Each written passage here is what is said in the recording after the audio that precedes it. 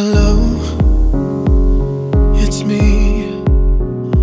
I was wondering if after all these years you'd like to meet to go over everything. They say that time's supposed to heal you, but I ain't done much healing. How many times I'ma keep on living this chapter?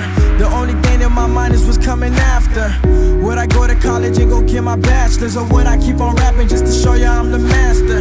I look people in their eyes so they can see my pain. So hopefully they can realize somehow we are the same. Rather it's different color, different image, different name. We all hope for sunny days but only get the rain. I know exactly how it feels when you all alone. Thinking no one wouldn't care if you didn't go Like how they